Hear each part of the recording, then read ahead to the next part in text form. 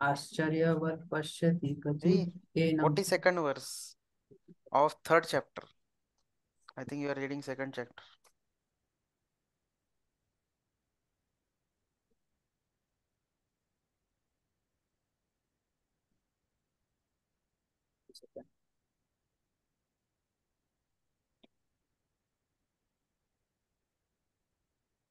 इन्द्रियाणि प्रणार आहुर् इन्द्रियाणि पराण्याहुर् इन्द्रियेभ्यः परं मनः। इन्द्रियेभ्यः परं मनः। मनस्तस्तु परा बुद्धिर् मनसस्तु परा बुद्धिर् यो बुद्धि परतस्तु सः। यो बुद्धे परसस्तु सः। Translation The working senses are superior to dull matter. Mind is higher than the senses. Intelligence is higher, is still higher than the mind. And he, the soul, is even higher than the intelligence. So, uh, this is the hierarchy uh, of the first is sense objects, but senses are higher than the sense objects higher than senses is mind. Hmm. So this uh, five five senses are compared compared to like five fingers of our body, and mind is this portion. What do you call it? English palm. Hmm. Yeah. So this palm of so you see that all these five fingers are connected through palm. Palm is like the center of the five fingers. Similarly, the five senses, the mind is the central point and mind is superior to senses. Then above mind is intelligence, above intelligence is spirit soul. Hmm. So now this hierarchy, uh, just like in the government we have hierarchy, right? Or any institute we have hierarchy. So a hierarchy means the person who is in superior hierarchy, he has more power than the person who is subordinate. Hmm. So that means each of these uh, particular aspects have more power than their less lower aspect. Hmm. So now, uh, so ideally intelligence has more power than mind and soul, soul has more power than intelligence also. Hmm. So this way the uh, power also indicates that there is a ability to control isn't it? So the that hierarchy, those who are in higher hierarchy, they have ability to control that thing which is in lower hierarchy. Hmm. So in the purport, so particularly this verse, uh, is saying the hierarchy, and this is the important verse also to be memorized. So purport Prabhupada says that the senses are different outlets for the activities of lust. So it's continuing from previous verses. You know, the section is going out about lust. So senses are the outlet of lust because senses are the one who like, you know, the lust exhibits itself through senses because ultimately sense uh, lust comes in the form of particularly a particular sense gratifying a particular sense object. Hmm. So sense object is called as matra, tanmatra you know, uh, sparsha, rupa, rasa, gandha, shabda. Hmm? These are all tanmatras. So they are sense objects. Senses are 10 senses, right? Hmm.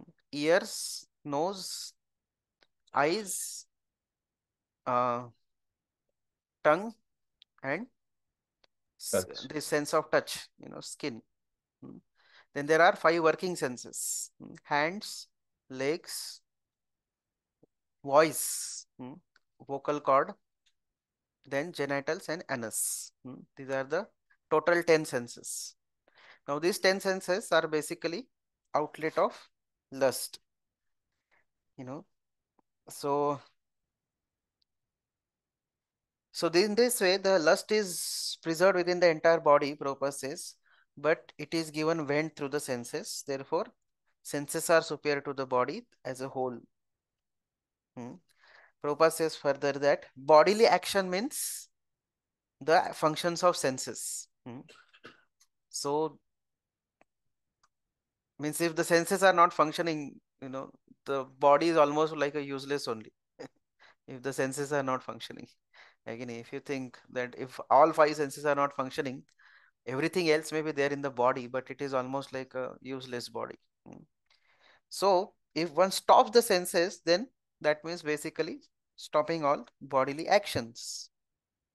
But since even if one stops bodily actions, hmm, even if senses may be stopped, hmm, they may be restrained, but there is a fellow called mind, he is not quiet. So even though the body may be inactive, but the mind is very active in any stage that we must have experienced. And one typical example Prabhupada gives is of sleeping. While sleeping, all the senses are inactive, body is also inactive. While dreaming, but mind is so active, especially in the during the dreaming stage. Hmm? So now above the mind is intelligence, and the function of intelligence is twofold: decision and determination. Hmm? So intelligence, if he has determination, then he can control the mind. Above intelligence is soul, because source is, soul is the source of energy. You know, if soul is not there, there is no uh, consequence of any intelligence or mind or senses, nothing, nothing functions.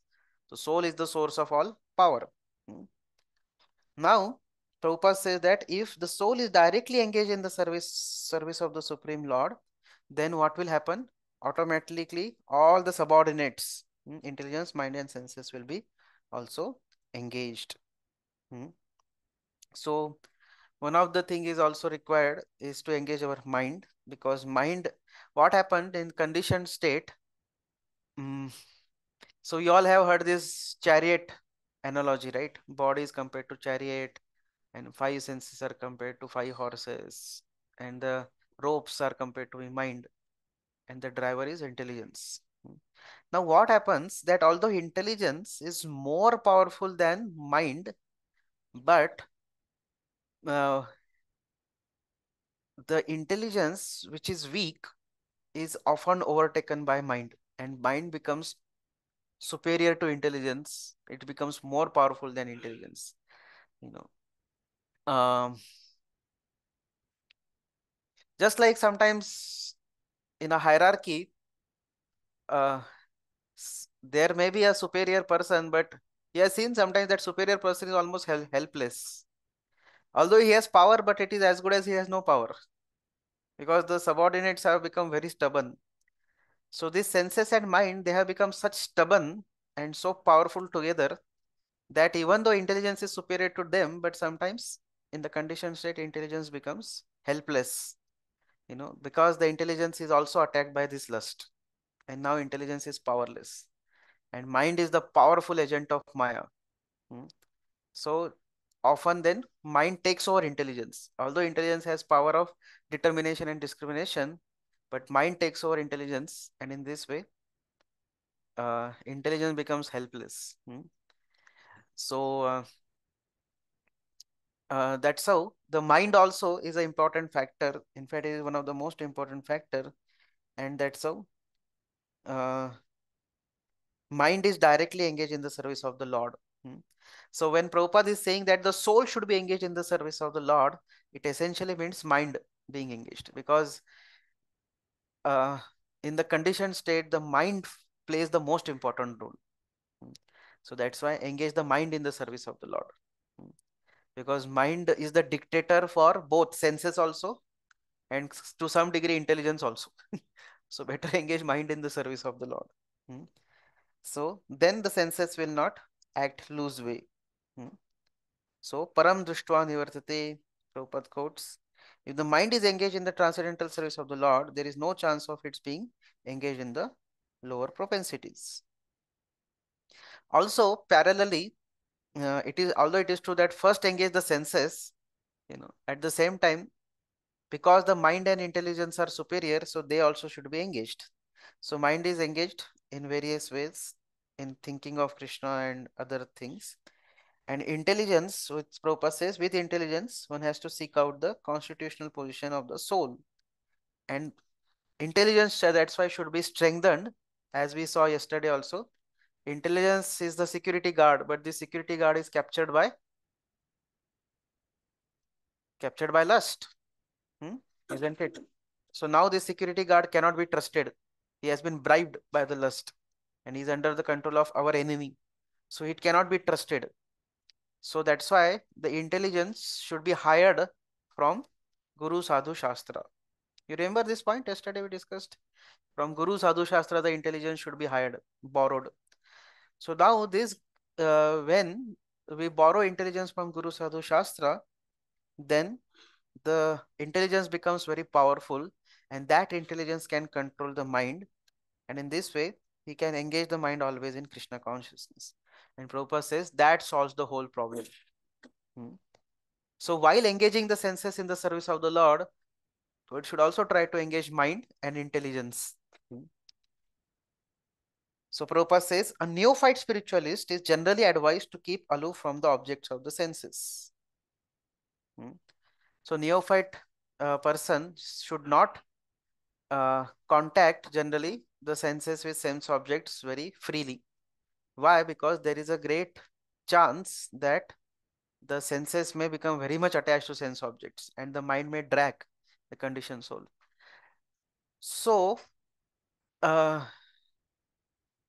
we may uh, engage everything in Krishna's service, but at the same time, if we don't have that ability, then one has to remain aloof from the sense gratification. One example is given, for example, Haridas Thakur, Srila Haridas Thakur, he could engage even the prostitute in Krishna's service. But if we don't have that level of advancement, then we should not imitate Haridas Thakur and one should remain aloof. Hmm. So certainly engaging the senses in the service of the Lord can be done only to the degree we have that capacity. Hmm. But beyond that, if we don't have that adhikar, then everything cannot be engaged. For example, some prostitute comes in front of us. We cannot say, you just sit and I'll chant. Right? If we tell like that, you know, who will preach to whom? We don't know what will happen. so, so we can't do so. We can't imitate Haridas Thakur. Hmm? So we have to remain aloof.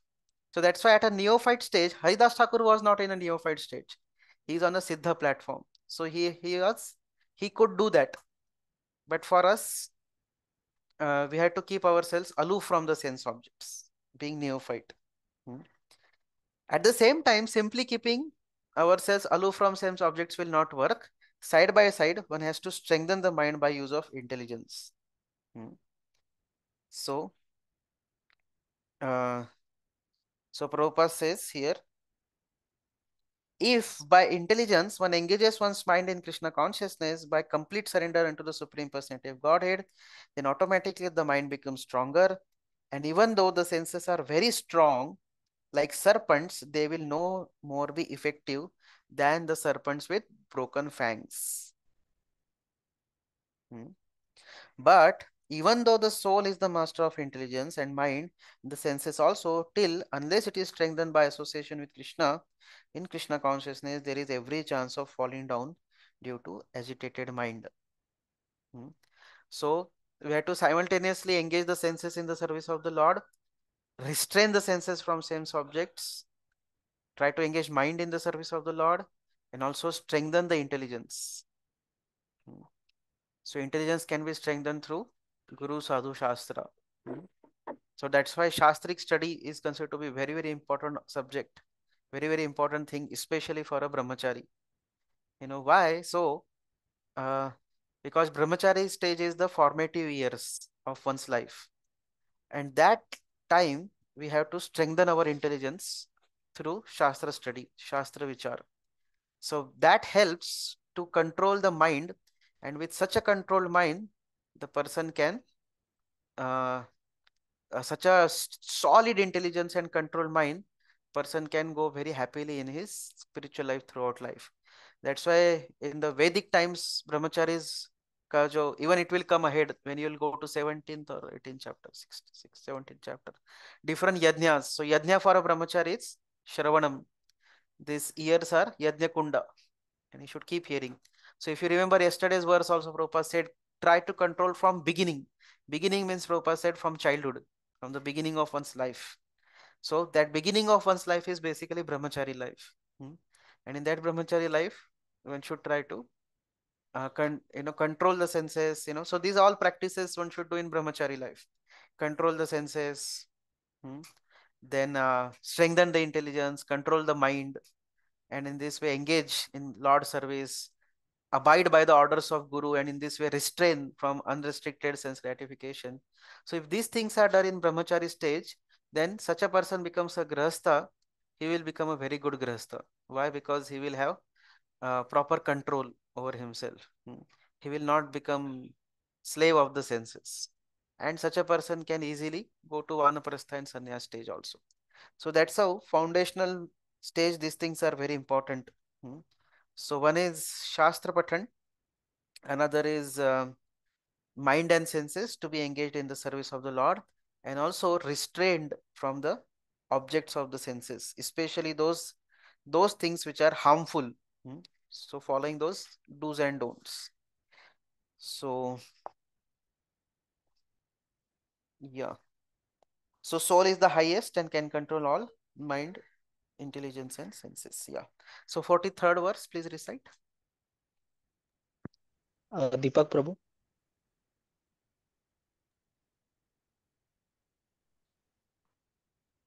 एवं बुद्धे परं बुद्ध्वा एवं बुद्धे परं बुद्ध्वा संस्थाभ्यात्मानमात्मना संस्थभ्यात्मात्मना ज- जहि शत्रु महाबाहो जहि शत्रु महाबाहो कामरूपं दुरासदम् कामरूपं दुरासदम् Translation Thus, knowing oneself to be transcendental to the material senses, mind, and intelligence, O mighty armed Arjuna, one should study the mind by deliberate spiritual intelligence, Krishna consciousness, and thus by spiritual strength conquer this insatiable enemy known as lust. yeah. So that's so uh, one of the expertise of good speaker is that he summarizes at the end. So krishna will see summarizes the entire chapter and entire section at the end. So uh, krishna is telling how one should control the lust. And in purport prabhupada gives the entire summary of the third chapter so if you are wondering what did we learn in third chapter what's going on so that's all is being summarized by Srila Prabhupada in the purport. So please read the purport, Deepak. ji. purport. This third chapter of Bhagavad Gita is conclusively directive to Krishna consciousness by knowing oneself as the eternal servitor of the Supreme Personality of Godhead, without considering impersonal voidness the ultimate end. In the material existence of life, one is certainly influenced by propensities for lust and desire for dominating the resources of material nature. Desire for overloading and for sense gratification is the greatest enemy of the conditioned soul. But by the strength of Krishna consciousness, one can control the material senses, the mind, and the intelligence. One may not give up work and prescribed duties all of a sudden, but by gradually developing Krishna consciousness, one can be situated in a transcendental position without being influenced by the material senses and the mind. By steady intelligence directed towards one's pure identity, this is the sum total of this chapter. In the immature, immature stage of material existence, philosophical speculations and artificial attempts to control the senses by the so-called practice of yogic posture can never help a man towards spiritual life. He must be trained in Krishna consciousness by higher intelligence. Thus end the to the third chapter of Srimad Bhagavad Gita in the matter of Karma Yoga or the discharge of one's prescribed duty in Krishna consciousness. Yeah. So this is how Prabhupada summarizes the entire chapter in this purport. So one should use the strength of our trained intelligence which should be fixed in transcendental knowledge to protect us from falling victim to inappropriate actions impelled by passion, Rajoguna. Hmm. So in this chapter, basically, Krishna has glorified transcendental knowledge as that which elevates us from Sakama Karma Yoga to Nishkama Karma Yoga. The transcendental knowledge is the main difference, how a person uh, who is attached to the fruits of the results, you know, learns to work without attachment. Hmm. So, detached action, that is Nishkama Karma Yoga. So, transcendental knowledge has uh, the power to purify our consciousness of passion and raise it to goodness. Hmm. Through transcendental knowledge, one can be purified of passion and come to this platform of sattva. That's why knowledge is very, very important. Now, in this final verse of this chapter, Krishna certified transcendental knowledge as being able to award our intelligence the strength to overcome lusty desires. Hmm. So this knowledge also, that's why knowledge has great power. So next chapter it will come. Hmm. Nahi jnane na sadrusham pavitra uchate. Krishna will speak it. Hmm. Next chapter. So this knowledge is the thing which is very, very important. Hmm. And this knowledge gives the intelligence the strength by which one can overcome the uh, lusty desires. Hmm. So in this way, after describing so many benefits of transcendental knowledge, Krishna is further glorified in the chapter 4. Hmm. So knowledge cannot be neglected. It is very important. Sometimes we may think that, oh, in bhakti, you know, generally knowledge is not so much, uh, what you say, emphasized. But what is uh, not so much emphasized or what is not so much talked about is the impersonal jnana. But the jnana, the knowledge which is helpful for bhakti, that is very much required and which is very much important. So that's how the next chapter begins. Fourth chapter will begin now with, with a uh, title as Transcendental Knowledge. So that is the fourth chapter. Hmm. So this uh, ends third chapter and fourth chapter now. This is the first section of the fourth chapter. Is from first verse to fourth verse. Hmm. so uh, so in this particular chapter krishna is presenting transcendental knowledge by which one can be protected from the bondage of lust. So this is the link with the previous chapter so Krishna is describing how he personally gave this transcendental knowledge to the great kings who are meant to impart it to the citizens by education, culture and devotion and thus help them utilize the opportunity of human form of life. Yeah. So in this chapter, particular chapter, Krishna is presenting jnana or transcendental knowledge and the glories of such jnana. So he, he first describes the lineage of transcendental knowledge or parampara. So first section is of parampara. First two verse to fourth verse is going being spoken about the transcendental parampara. Hmm? So please recite the first verse.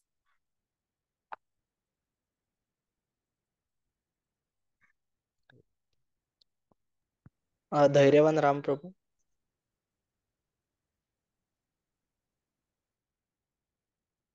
श्रीभगवानुवाच। श्रीभगवानुवाच। इमं विवस्वते योगम्। एवं विवस्वते योगम्। प्रोक्तवानहमव्ययम्। प्रोक्तवान् अहमव्ययम्। प्रोक्तवानहमव्ययम्। विवस्वान्मनवे प्राह। मान्मनवेत्राः मनुरिक्ष्वावके अब्रवीत् मनुरिक्ष्वाकवे ब्रवीत् मनोरिक्ष्वा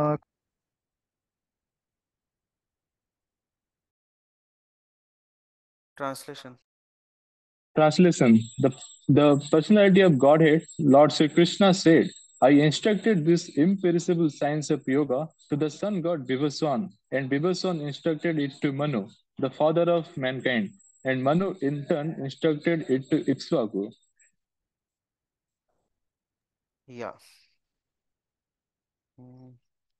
Okay, so please read the purport also. Purport. Herein we find the history of the Bhagavad Gita traced from a remote time when it was delivered to the royal order of all planets, beginning from the sun planet.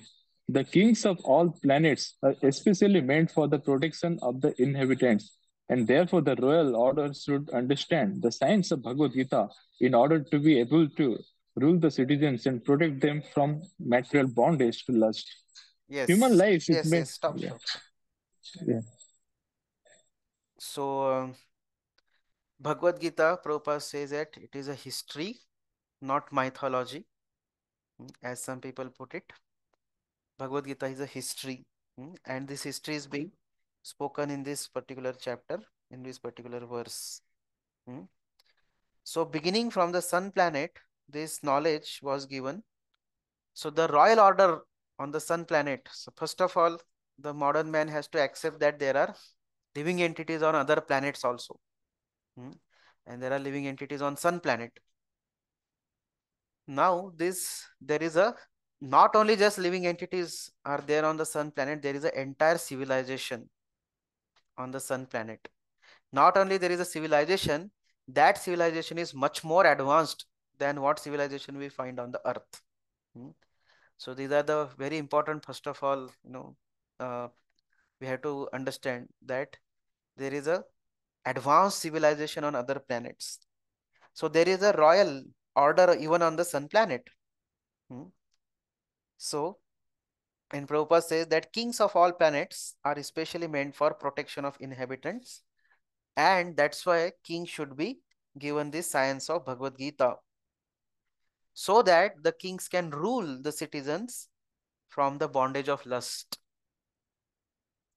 So this is such an amazing thing, concept Prabhupada is talking about.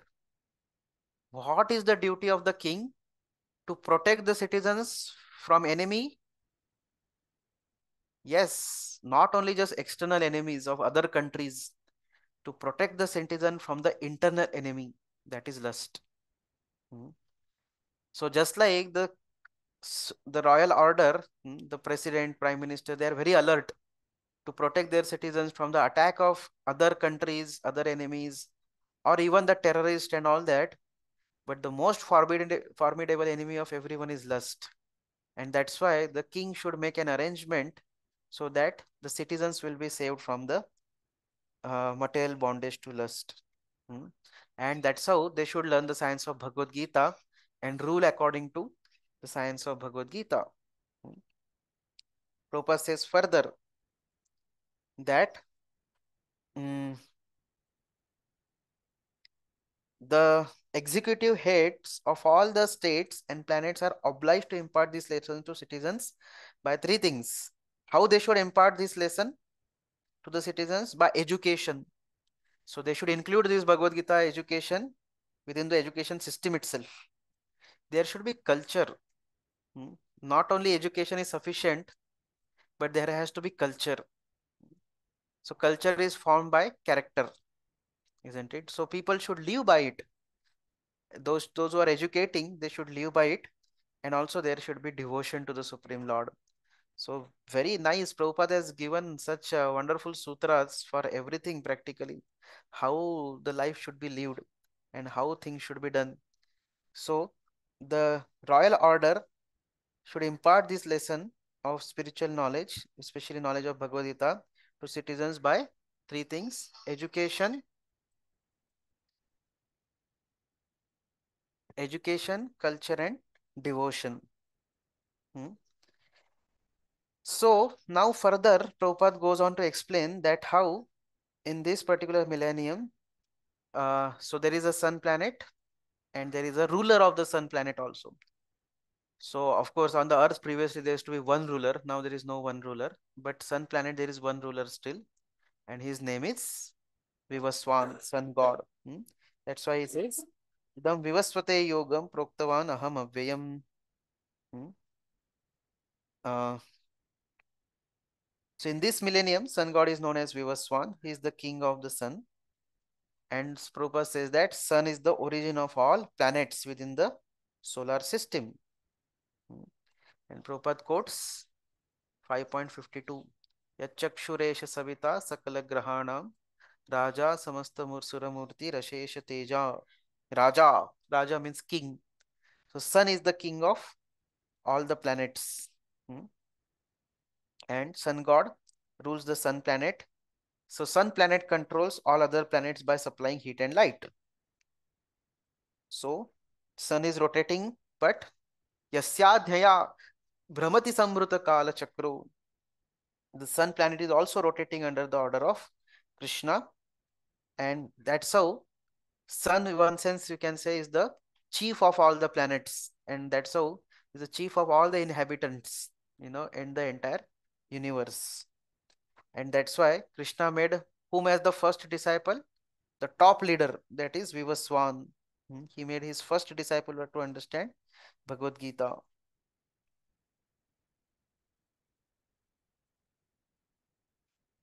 So further, if you go ahead in the purport, Prabhupada is giving entire calculation that how Bhagavad Gita, how much old is Bhagavad Gita. Hmm. So you can read it yourself. So what is the conclusion?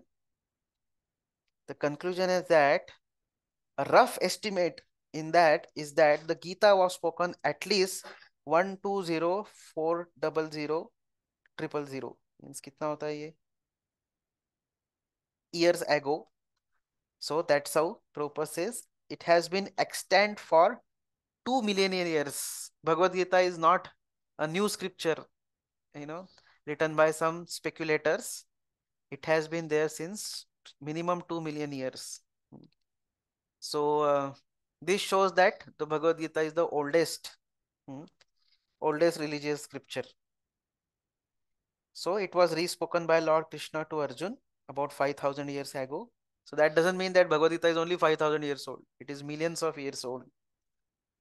And this is the rough history of Bhagavad Gita according to Gita itself. Hmm? So Gita itself gives the history of Bhagavad Gita. And in this way, Krishna is telling, you know, about the history. So we have to accept this fact as a history because the modern scientists they cannot trace out it through some archaeological evidences. So many times indologists and all they say that this is all mythology. Why mythology sir? Hmm. you know why you call it mythology? Just because you cannot find some uh, something which is within the which is cremated you know within the earth. That's why it becomes mythology you know. So it's all you know a systematic plan to somehow discredit all the Vedic literatures and uh, propagate, you know, their own their own agendas. So Bhagavad Gita is not uh, something a mythology. It is a fact. It is a history which has been existing since many many years, and everything cannot be understood simply some archaeological evidences, isn't it? Know, think there are different ways of acquiring knowledge. So you all know that there are different ways of acquiring knowledge. So this is a history. And Prabhupada says that Bhagavad Gita is as good as Vedas being spoken by the Supreme Lord. Because in the beginning of creation, Supreme Lord breathed out the Vedas. So they were spoken. Vedas were spoken by the Supreme Lord. And Bhagavad Gita is also spoken by the Supreme Lord. And this way, Bhagavad Gita is Shruti. If you remember, you know, we discussed it in the beginning itself, first class. If you remember, we discussed how Bhagavad Gita is Prasthanatraya. It fits into all three. Hmm? Shruti, Smriti, Nyaya. Do you remember that? In the first class, we had discussed this point. Shruti, Smriti, Nyaya.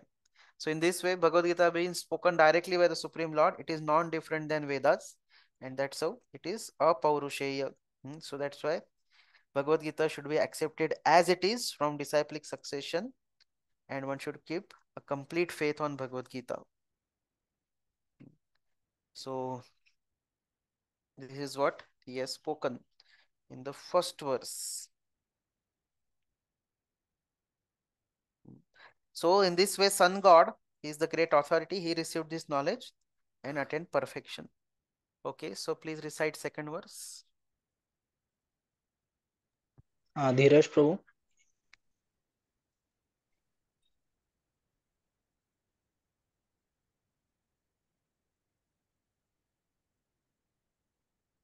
जी कौन सा कौन सा श्लोक चल रहा है second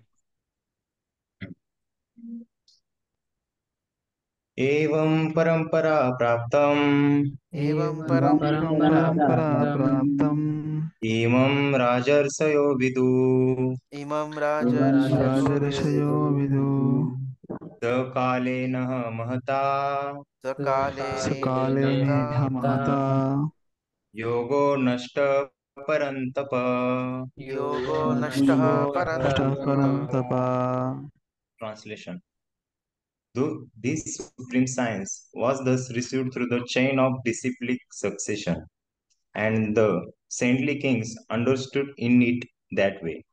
But in course of time, the succession was broken, and therefore the science as it is appeared to be lost. Yeah. So uh, again, it is continual the discussion of uh, parampara. Mm. So purport Prabhupada says that although the Gita was specifically meant for saintly king because they were executive, they were to execute its purpose in ruling over the citizens. So it was spoken to Kshatriyas and saintly kings. Why? Because they will propagate it and execute the purpose of Bhagavad Gita through their administrative abilities. So they'll administer the principles of Bhagavad Gita. Hmm.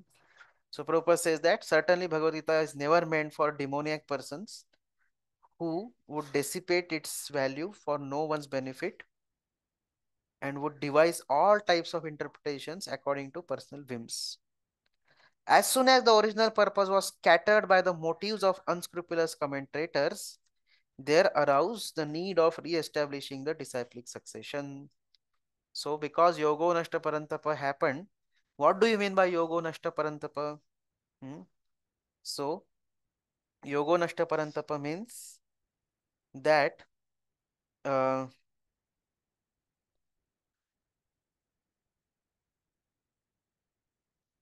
yeah when there are interpretations given according to personal whims and the original person is purpose is scattered by the motives of unscrupulous commentators the original purport of bhagavad gita the original intention of bhagavad gita that is lost why it is lost because of unscrupulous commentators hmm?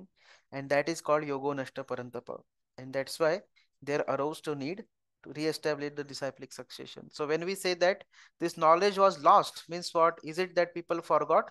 Sometimes it may not be that the people forgot the knowledge or there is no book available of that knowledge or nobody is uh, knowing it. The meaning of the knowledge is lost is also that the purpose of that knowledge, the real purport of that knowledge, the real uh, intention behind speaking that knowledge is lost because of unscrupulous commentators. Hmm. Sometimes they distort the entire. So we see that even it had happened with Chaitanya Charitamrita also. Srila Bhaktivinoda Thakur, he had a tough time to get the real copy of Chaitanya Charitamrita because what was available in the name of Chaitanya Charitamrita was all wrong interpretations, you know. So that's why Bhaktivinoda Thakur had to struggle very hard to get the genuine copy of Chaitanya Charitamrita. Hmm. So Prabhupada says in the same way, at present moment also same thing has happened. Hmm. There are many editions of Gita, especially in English, but almost all of them are not according to authorized disciplic succession. Prabhupada says that. Almost are all not according to authorized disciplic succession, although there are so many editions of Bhagavad Gita. Almost all of them do not accept Krishna as Supreme Personality of Godhead, although they make a good business on the words of Krishna. Hmm. They use Krishna's words to make a good business for their own name, fame, and prestige, but they do not accept Krishna as Supreme Lord. And Prabhupada says this spirit is demoniac because demons do not believe in God but simply enjoy the property of Supreme. This is the typical characteristic of demons. What is the characteristic of demons? They simply enjoy the property of Supreme but they don't want Lord, who is the master of that property. They disregard. Like Ravan, he wanted to enjoy Sita, but he didn't want Ram. Hmm, so in this way, this is a demoniac spirit wherein one doesn't believe in Krishna and somehow or other try to just make a business out of Bhagavad Gita. People want Rama Rajya, but they don't want Ram. Hmm? They want Rama Rajya without Ram. So this is a demoniac spirit basically. Hmm? Enjoy the property of Lord, but don't accept the Lord. Don't believe in the Lord. So that's why Prabhupada says an attempt is made herewith to fulfill this great want, this great necessity is there to present the knowledge of the Bhagavad Gita as it is. And that's why Prabhupada says it is the great boon to humanity. You know, because so many wrong commentaries are there, you know. So that's why Bhagavad Gita needs to be presented as it is. So this Bhagavad Gita as it is is the great boon for humanity, you know, uh, because it can do great good for the people in general. Mm. So now, why does Krishna speak this science specifically to Arjun? What is the qualification of Arjun to receive this knowledge? So that is described in the next verse. So please recite verse number three. Uh, Gautam Prabhu. स एवयं मया ते अद्य स एवायं वयं मया तेय योगप्रोक्तः पुरातन पुरातनः पुरातनः मे सखा चेति भक्तोऽसि मे सखा चेति रहस्यं हि एतत् उत्तमम्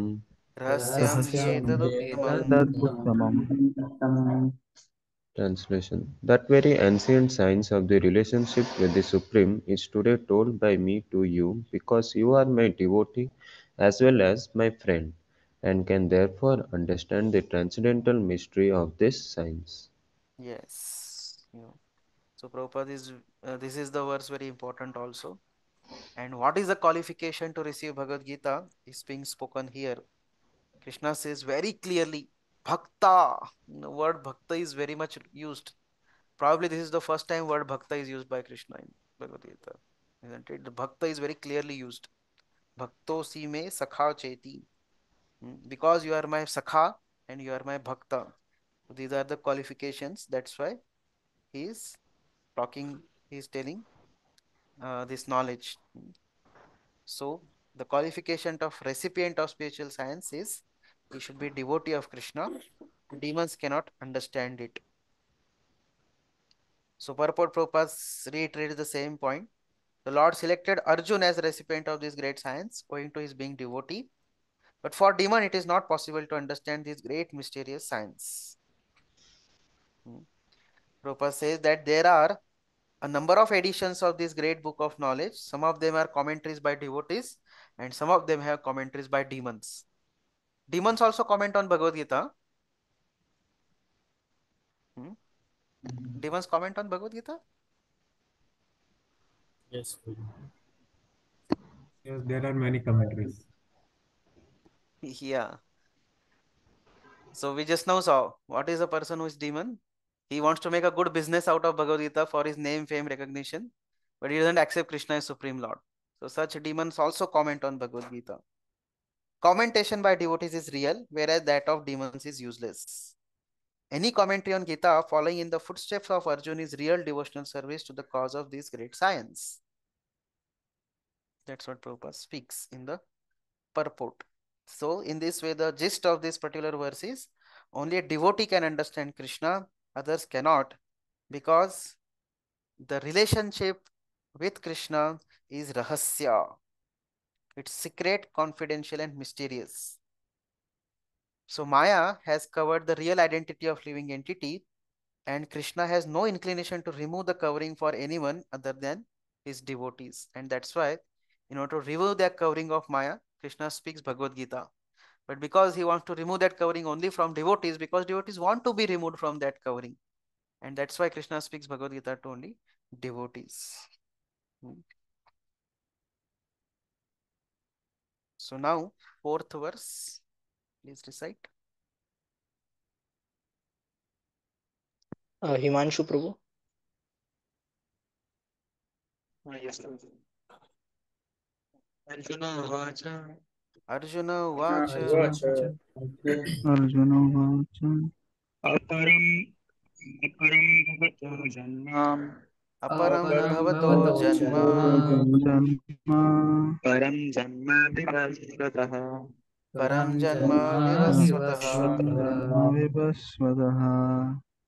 कथम् एतद्विज्ञान विज्ञानयम् Kathametad vijaniya.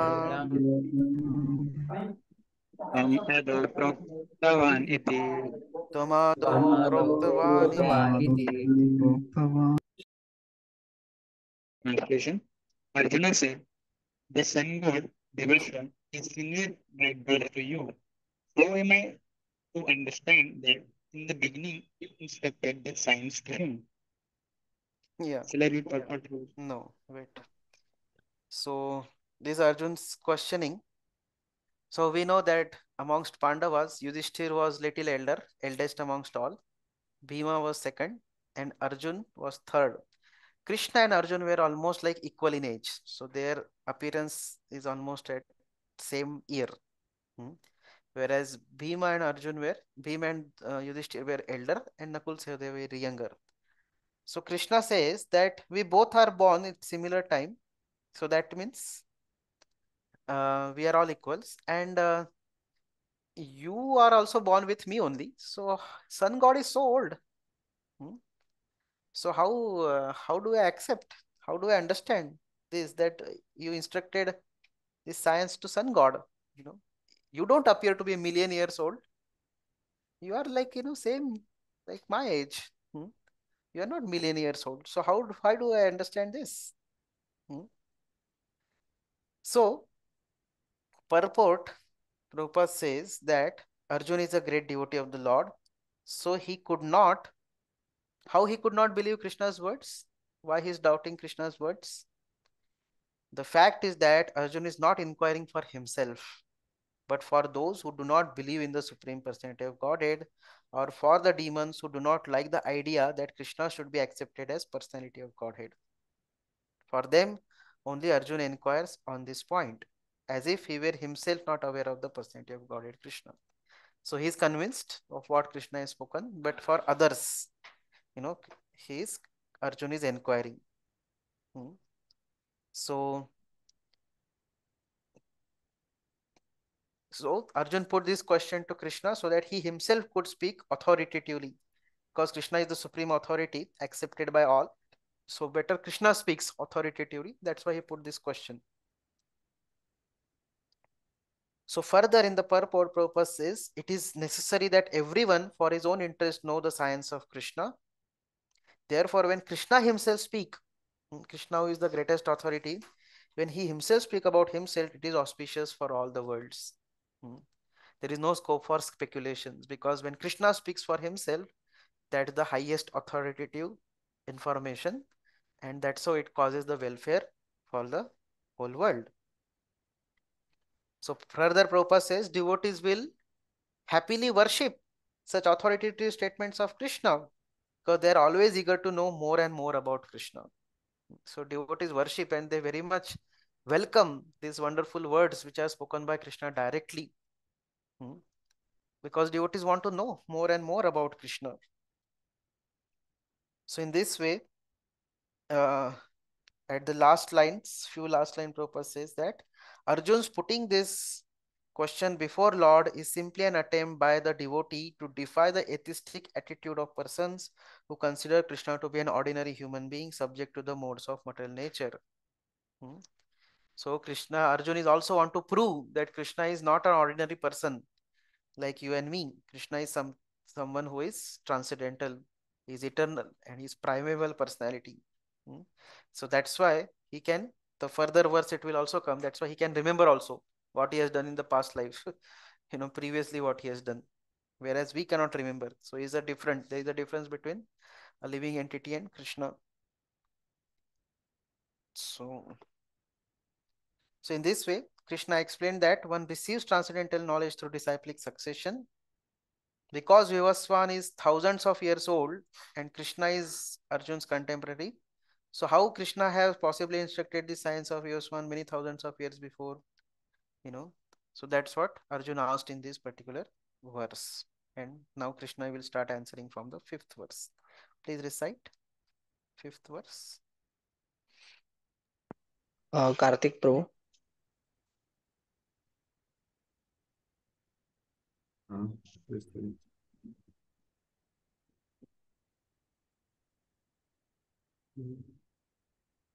श्री भगवान उवाच श्री भगवान उवाच बहुनी मे व्यतीता बहुनी मे व्यतीता जन्मा तव च अर्जुन। जन्मानि तानि अहं वेद सर्वाणि तानि तानि अहं वेद सर्वाणि न त्वं वेत्थ परं तप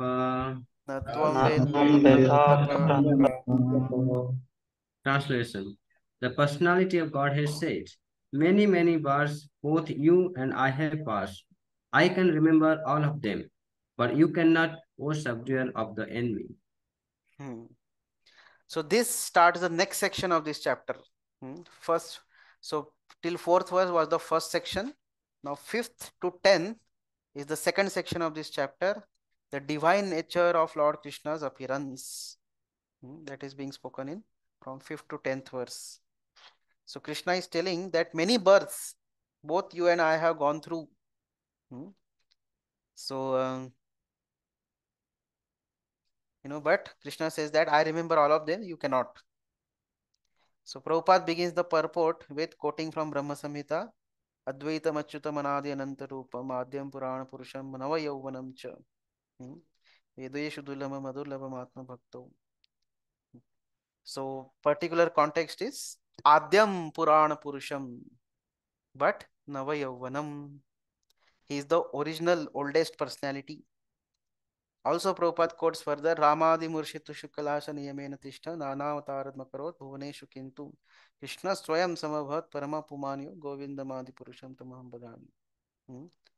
So, so Prabhupada says that in the Vedas it is said that the Lord, although one without a second, manifests himself in innumerable forms. That's why Advaitam Achyutam Anadi Ananta Rupam. Hmm. And what are those Ananta Rupam?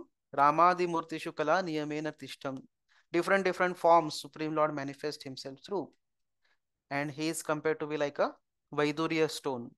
Vaidurya stone means it is a one stone you know. Of course these days very difficult to find vaidurya stone but it is one stone.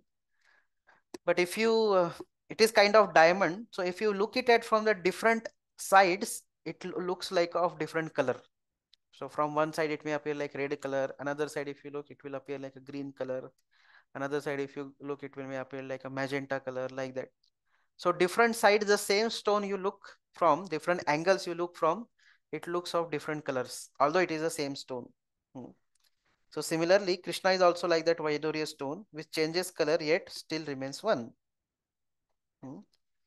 so although there are different multiple forms of the lord hmm, but uh, by the pure devotees you know not by simply study of the Vedas, Vedeshu adurlabha. Hmm. Vedeshu durlabha. Hmm. And Atma Bhaktu adurlabha. Hmm. So those who are devotees for them adurlabha. Durlabha means rare. So for Vedas, it is rare to understand by Vedic study, but by devotional service, this is understood that all these multiple forms are one. Hmm. It is, they, these are all forms of the Supreme Lord only. Hmm. So, Prabhupada says further that devotees like Arjuna are constant companions of the Lord. And whenever the Lord incarnates, the associates also incarnate. So, Arjun also incarnates along with Krishna in different capacities. Hmm. So, Arjun is eternal associate of the Lord. And that's why when Krishna spoke Bhagavad Gita to sun god Vivaswan millions of years ago, Arjun was also present over there, but in a different capacity. But the difference is what? Krishna remembers that he has spoken this Bhagavad Gita two millions ago to Vivaswan. Arjun does not. Hmm? Arjun does not remember. This is the difference between a Jiva and Supreme Lord. Hmm? So, Arjun is called here as Parantapa, hmm? one who is um, subduer of enemy. Although he is very powerful, but at the same time, he is a mighty hero who could subdue so many enemies, but his power of remembrance is also still limited. He could not recall what happened in his previous birth. So Prabhupada says, the conclusion is that even though living entity may become very, very great, or even in the liberated stage, one cannot equal to the Supreme Lord. The Mayavadis think that after liberation, you know, as long as one is conditioned, one is subordinate to the Supreme Lord. After one is liberated, then one is as good as Lord. Hmm? Like that. That's the Mayavadi concept. But that is refuted herein. That even though the living entity may get liberated and may be as great as uh, this thing, living entity may be as great as the Supreme, uh, as great as Arjun, still he cannot equal to Krishna because, you know, uh, it was Krishna who could remember even his previous lives. Arjun cannot remember. Hmm. So that's why Krishna is called as infallible, Achyuta, means that he never forget himself even though he comes to material world. Although he comes in contact with material world, he doesn't have the tendency of forgetting himself. So that's why he never falls to material world. Hmm. And that's why a living entity is not called Achyuta because he has the tendency to fall. He has tendency to be acquired. And that's why again, another reason that living entity and Lord can be never equal in all aspects. Hmm. Like that. So, uh, what is the reason that living entity forgets everything? Because he changes body. So this is the third point. Hmm. Living entity forgets because of change of body. While Lord remembers everything? Because he never changes his body. Lord's body is always constant. Hmm. Dehi nosmin yatha dehi doesn't apply to the Lord. It applies only to a living entity. He does not change his Satchidananda body. So his Advaita means there is no distinction between his body and himself. Hmm. So when Lord comes to material world, you know, he doesn't have any material body. That will be spoken in the next verse. So, hmm. so both Krishna and Arjun had many, many births, but because Krishna has transcendental body, which is fully spiritual, you know, whereas a Jiva, Arjun has different body than Krishna. That's why Krishna never for changes his body and that's why Krishna always remembers, whereas Arjun cannot remember. Hmm. Okay, so please recite sixth verse. Uh, Lalit Prabhu. अजोपि सन् सन्नवयात्मा अजोपि सन् अव्ययात्मा भूतानामीश्वरोऽपि सन् भूतानामीश्वरोऽपि सन् प्रकृतिं स्वामधिष्ठाय प्रकृतिं स्वामधिष्ठाय सम्भवाम्यात्ममायया सम्भवामि आत्ममायया Translation Although I am unborn and my transcendental body never deteriorates, and although I am the Lord of all living entities, I still appear in every millennium in my original transcendental form. Yes. So this is important verse to be memorized. Ishwaropi san prakritim swam adhisthaya sambhavami atma mayaya. So now krishna arjun is telling asking krishna that how you remember you know uh, something of the past which you spoke many many millions of years ago. I cannot remember anything. So krishna is now telling about the uniqueness of his birth and his activities hmm. He says yes you all have taken you also have taken many many births because spirit soul is always present you know he is never destroyed. I also have taken many many births but there is a difference between you and me. Hmm? although you have also taken many births i have also taken many births but my birth is not ordinary birth.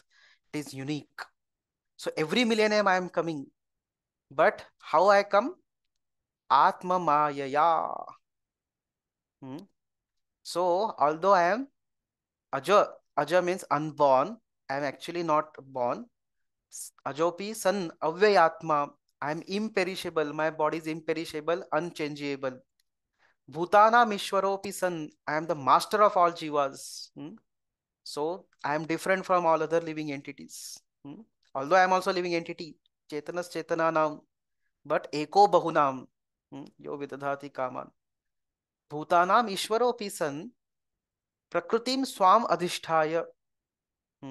I come in this material world संभवामी आत्म माया by my own internal potency whereas any living entity he comes in this material world through the agency of external potency but Lord comes manifest himself in every millennium but through internal potency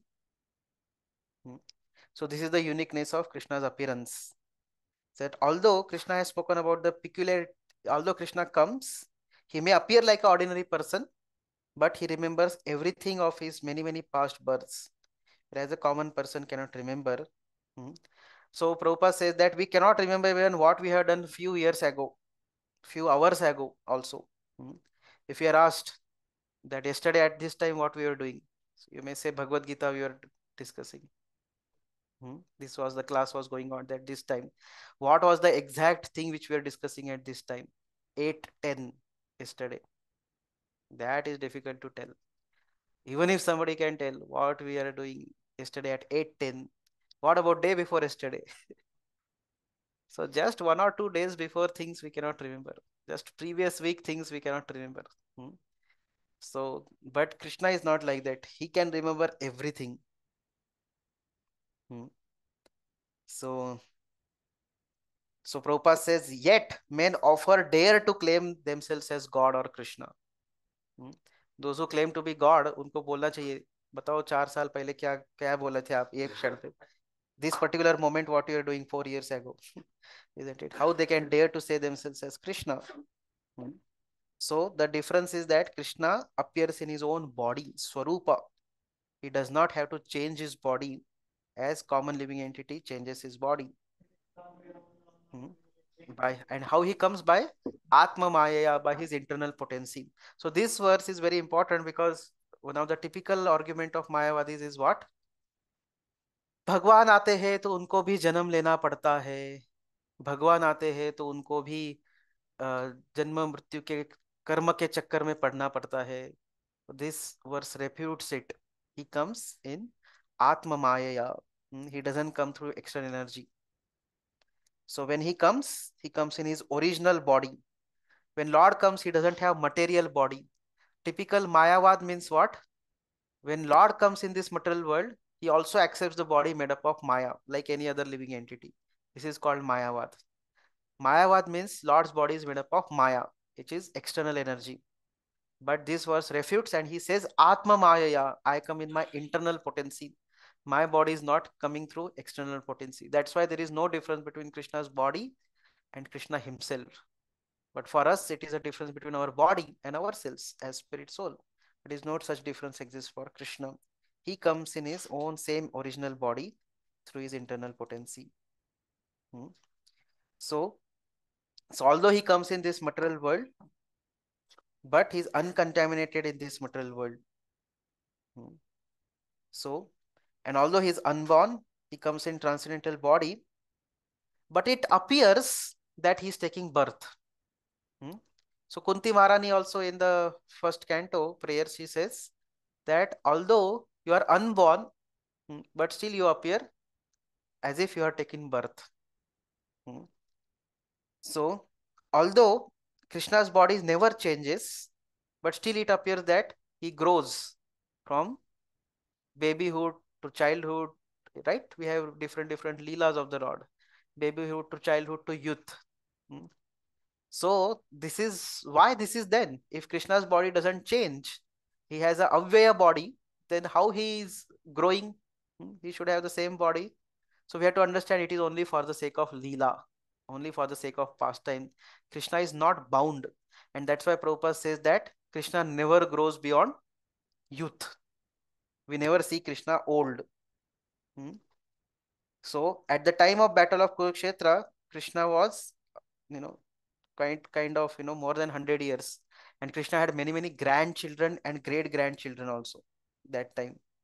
So according to material calculation, he was very much aged. But when we see Krishna, how he looks in the battlefield, he looks like a 20 year old boy. Hmm. He doesn't look like a Buddha. You never see Krishna old, right? A Buddha Vyakti. He's always youthful. That's why Adyam Purana Purusham, he's the original personality, oldest personality. Nava Yauvanam is always like a fresh youth. Hmm. So in this way, Krishna's neither body deteriorates neither his intelligence deteriorates nor his memory deteriorates. He has always fresh memory, fresh body, fresh intelligence. Hmm. So this is the uniqueness of Lord. And that's how the Krishna's appearance and disappearance are compared to be like sun's rising and setting. Hmm. So when the sun is rising, we cannot say the sun has taken birth. And when sun sets, we cannot say sun has died now. Sun has simply risen at another place. Sun is eternally existing. Hmm. The same way, sun may appear and disappear from our sight. So that's why Lord's uh, generally it is not said birth. Although some outside people may say Krishna Janma, actually it is said Krishna Avirbhav. You know, Avirbhav and Tirobhav means they appear and disappear. Like sun appears and disappears. Whereas Janma and Mrityu is for ordinary conditioned soul in this world. So like that. Hmm.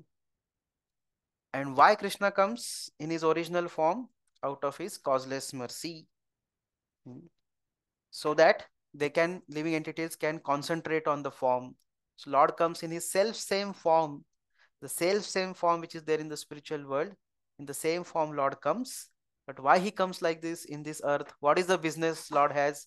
Does Lord want to enjoy something of this material world? Yes, nothing to enjoy of this material world. But he comes in this material world to, you know, so that uh, out of his causeless mercy, so that people of this world have object of meditation, that is Supreme Lord himself. And in this way, they'll be saved from mental concoctions. So Bhagwan आके सब बता देते कि देखो मैं ऐसा दिखता हूँ. Don't concoct. Hmm? Maybe, perhaps he's like this, perhaps he's like that. There's no scope for concoction. Hmm? Lord himself tells about himself.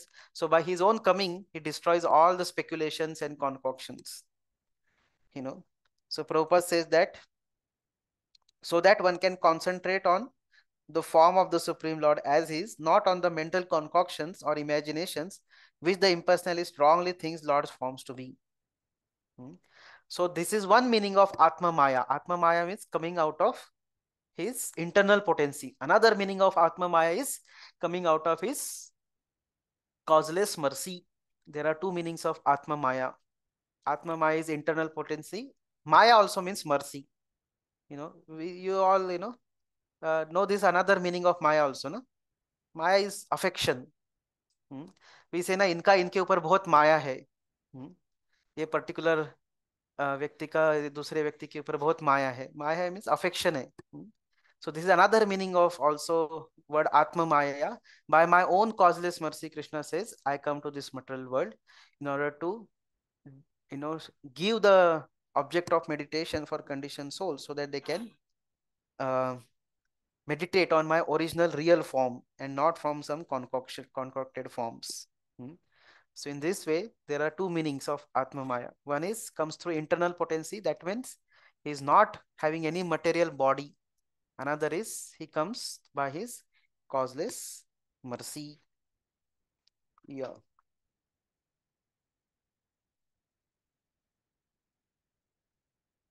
So in this way, uh, Krishna, like the sun, exists before he becomes visible on the earth.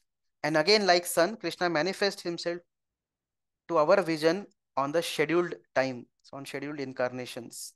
Hmm. So Krishna's body is Aja, unborn and Avyaya without deterioration. His birth, unlike ours, is not forced upon us, upon him.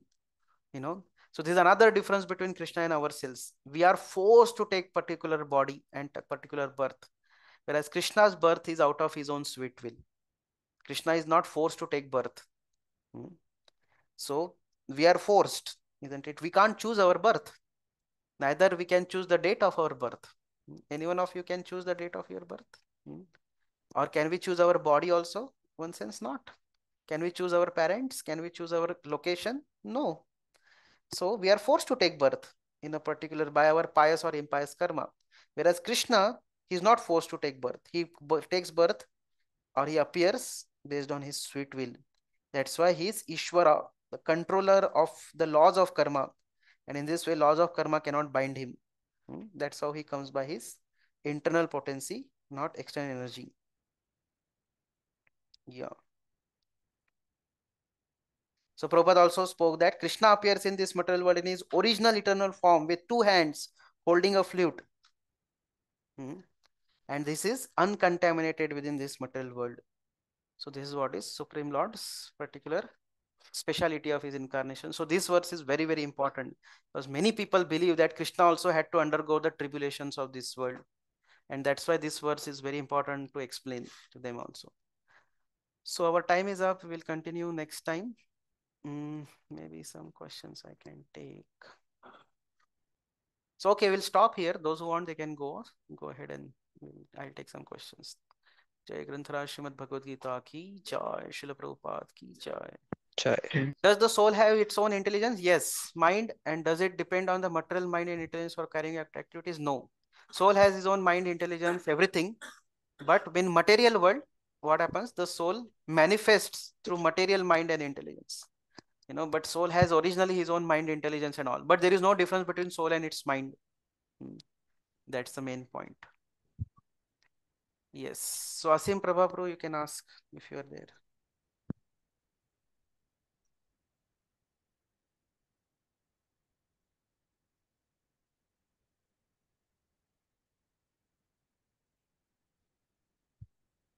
Asim Prabhapro, you are there? Okay, not there. Then, uh, is there any relation between Vaivasvat Manu and Vivaswan? Yeah, Vaivasvat Manu is uh, sun god of Vivas, uh, is the son of sun. S O N son of S U N sun. Hmm? Vaivasvanu, Vaivasvat Manu was the Satyavrat in his past life for whom Matsya Avatar came. And this next life, he came as Vaivasvat Manu. He became the son of sun god, Surya Putra. Hmm? So he's brother of Yamraj. Vaivasvat Manu. Okay, thank you. Mm. Could you please give examples how mind can be strengthened by intelligence? Mind can be strengthened by intelligence. Mind can be controlled by intelligence because intelligence is uh, powerful. That's what we discussed, that intelligence is more powerful. So when the function of intelligence is determination and discrimination. So when the mind gives wrong proposals, the intelligence can reject them. And mind can only supply proposals actually. Mind cannot take decisions. Mind supplies proposals. But if the intelligence is strong, then the intelligence will reject the wrong proposals and accept the right proposals. And intelligence will also remain determined not to sanction the wrong inputs or wrong proposals by mind. And in this way, uh, yeah, uh, the intelligence controls the mind.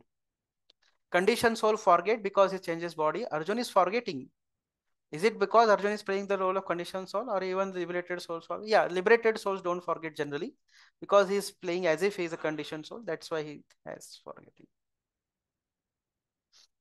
Prakrutim. Prakrutim means energy. Prakrutim swam adhishtaya.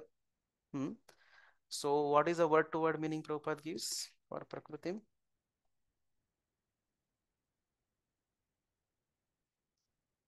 Mm.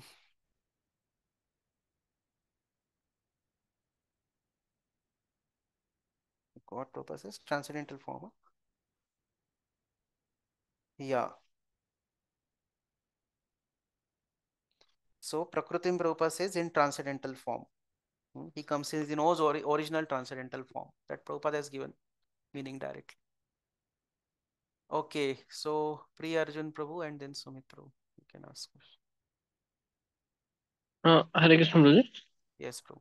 Uh, Prabhuji, uh, uh, in the third chapter, uh, verse 41, uh, Krishna uh, recommends that first we have to um, control our senses. And then in the next verse, uh, Krishna says that uh, uh, Prabhupada writes in the purport that one has to engage the mind in uh, Krishna consciousness. Uh, and for that reason, um, the intelligence has to be strengthened uh, with uh, transcendental knowledge. And that is why uh, Krishna speaks this uh, fourth chapter of transcendental. Is that understanding correct? Yes, yes. So that's the link that the intelligence has to be strengthened. You know, uh, because this lust, uh, so as we discussed that the intelligence is currently corrupted. So the solution is borrow intelligence from Shastras So that proper knowledge gives rise to right intelligence, then it will control the mind and mind will in turn control the senses. So that's why this whole transcendental knowledge is spoken. That's the link, correct. So uh, this uh, 3.41 verse, it is uh, like to start with, uh, one has to control the senses and then gradually one has to um, train the mind uh, Yes. to think of Krishna. Yeah, correct. Yes. Okay. Thank you. Then another devotee, Sumit Prabhu, your hand was also up. Guruji, actually, uh, it was answered, but uh, actually wanted to know like why then Krishna actually is speaking about the parampara, like this is started from parampara. That I wanted to know, like what is the connection to? The transcendental knowledge has to be obtained in parampara, otherwise it has no effect. Hmm. So when we say knowledge, usually in the world, knowledge is considered to be something synonymous to concoction and speculations. Right? If you see in this world, generally people concoct many things, especially when it comes to religion and God, there are a lot of concoctions. So that's why, first of all, when we say that the knowledge has to be received and knowledge, importance of knowledge. So first qualification of that knowledge is that knowledge should be received in parampara. नहीं तो वो knowledge का कुछ फायदा नहीं है. If it is a born out of one's speculation and concoctions, that knowledge cannot help. So that's why that parampara is stated first. Yes, Prabhu. Thank you. Okay, another question here is that Arjun in purport Prabhupada mentions Arjun was also present when Krishna's propaganda is on. You know, yeah, there is no translation, it is not written. Uh, so you can ask Prabhupada only what is the reference. But it is a Prabhupada is speaking more it from a logical point of view that devotees of the Lord always appear with the Lord because Arjun is Nitya Parikar. So one of the reference we can understand is that when Lord came as Narayan Rishi, Arjun came as Nara Rishi. So Arjun being the eternal associate of the Lord, so he always comes with the Lord, but he may come in a different capacity. He may not be exactly sitting there, you know, in the same class when Krishna is speaking to Vivaswan. He may not be another audience, you know, of he may be coming from different capacities like that. So one uh, reference is Naranarayan Rishi. You know, they are very old and ancient. So, but uh, same as they are same as Krishna and Arjun. So in this way, always, you know, devotees also eternal associates of the Lord, they come. And one place Prabhupada says that Arjun is such an eternal associate that wherever Krishna goes, Arjun always goes with him. That when one of the places, I can't immediately give you reference for it, but one of the places Prabhupada says like that, that Arjun always goes with Krishna wherever he is. That's why in Chaitanya Leela also Arjun comes as Ramananda Rai. Right? He comes as Ramananda Rai. So that's a reference, but it is more, that's why, because this is a fact that Arjun is a Nitya Parikar. So that's why Prabhupada says that Arjun must have been present that time also when Krishna spoke to Vivaswan. Apart from that, I don't know any other references there or not. Okay. Uh, Prabhuji, one question. Uh, Prabhuji, uh, in the Bhagavatam, uh, it is said that mind is born of the mode of goodness and intelligence is born of the mode of passion. Uh, then how come intelligence, uh, according to the modes, uh, it is higher than the mind and it can control the mind? So little technical, but had that doubt. How is it uh, happening?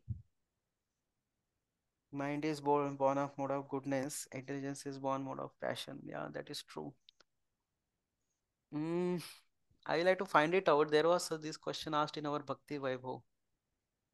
So I'll find it out and let you know because uh, this question was surely asked during our Bhakti Vaibhav class. I remember, but what was the answer? I don't remember exactly. So I'll find it out and tell you. Okay. Okay. Yeah. Yes. I can take only one and one question from both of you because I have to go for some services now.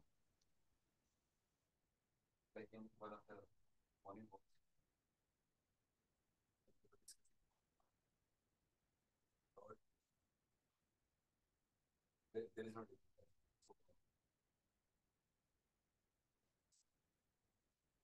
Because was mentioning even everything of uh, pure devotees, their body material body as well as their soul being different, then again that is Maya. So I was confused because uh, material body is there. Inside there is soul. So how is there is a See, body doesn't mean only just a covering. Body also has its, it also means in its, in terms of its purpose. So when the so-called material body is being engaged in the Lord's service, it serves the purpose of being spirit soul also. And that way, that's why it is considered to be non-different in terms of its effect, not in terms of its constituent ingredients. Because a body which is engaged in service of the Lord, it is acting as good as spiritual body. So that's why it is non-different.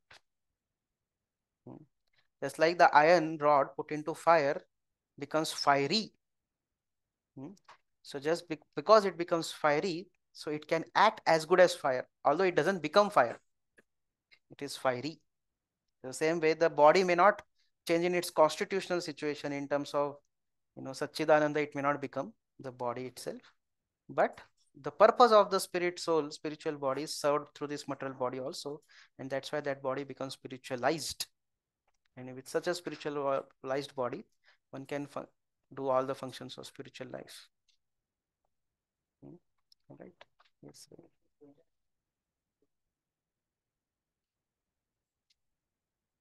Hmm.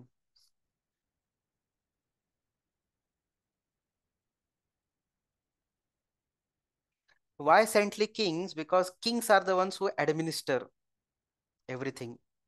You know, who decides the policies of education?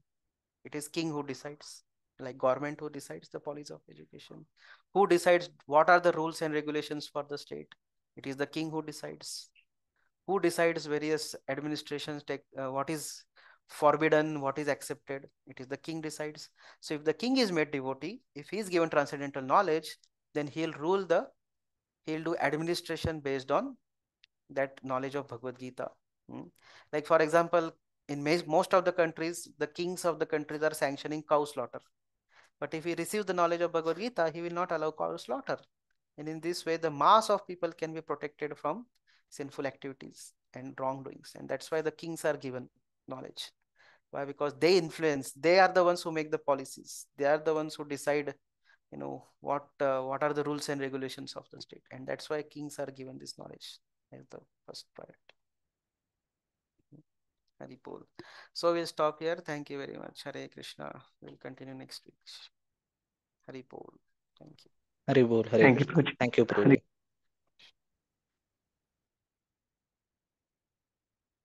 Uh, Hare Krishna, who is Shubham, uh, who has joined? Hare Krishna, Shubham Prabhu. Hare Krishna, Prabhu. Prabhuji, I wanted to register, but due to some financial, I could not register. Within a two, uh, one or two day, I will register and then I will continue. Uh, Prabhuji, can you uh, uh, message me on WhatsApp personally? Yes, Prabhuji, you messaged me, but uh, I could not reply, Prabhuji. Oh, okay, okay, okay. Yeah, yeah. Uh, you can Please give reply me me one or two days, Prabhu. Uh, Oh, okay, okay. Sure, sure, sure, sure. No problem. Uh, Yes, you can message me today just once so that uh, uh, I am reminded that uh, you are going to join. Okay. Yes, yes, Prabhuji. Okay, okay, okay. Hare Krishna. Thank you. Hari Bol. Hare Krishna.